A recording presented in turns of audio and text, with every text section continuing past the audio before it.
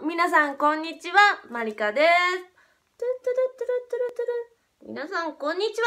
ブーさんです。ブーさん、どいてうう 今日は、チェックが送られてきたんだ。イェ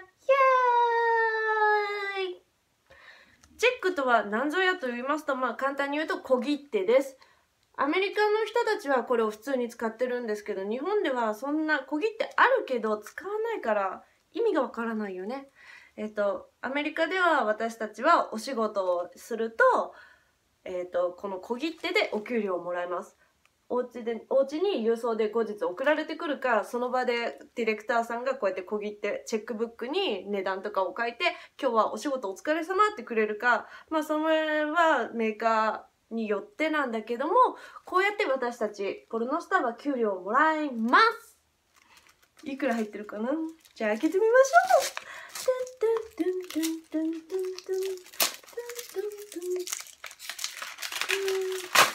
雑。私雑。あ、これちょっと住所とかがあるからね。ちょっと裏にさせていただきます。あ、ロケ、あ、これは、あれだ。まあなんか、いろいろ、撮影じゃなくて、ソーシャルネットで、いろいろお仕事させていただいた時のお給料だ。だからそんな撮影ほどは入ってないけど、うん。嬉しいね、やっぱりお給料はね。うんえーこの会社の名前が書いてあって、住所が書いてあって、Pay $185.40 えー今回185ドル40セントのお給料をいただきました。えー1月31日2018年 to the order to マリカハセ void after 90日 days. え90日過ぎたらこれは無効になりますよということなのでこれをお金に換金してこなければいけま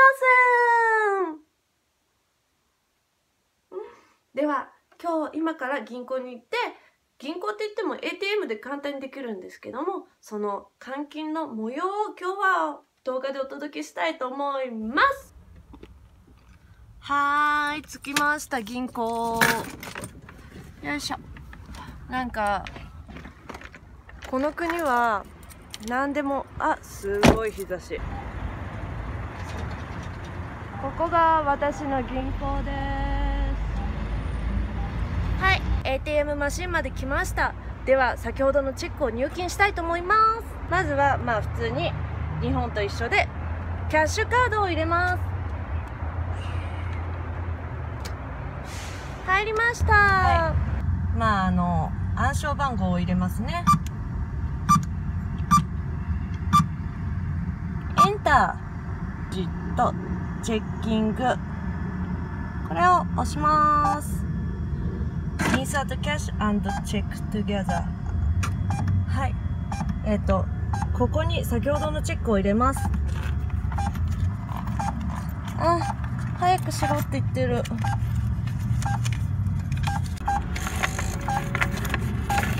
はーいバイバイ。入りました。スキャン。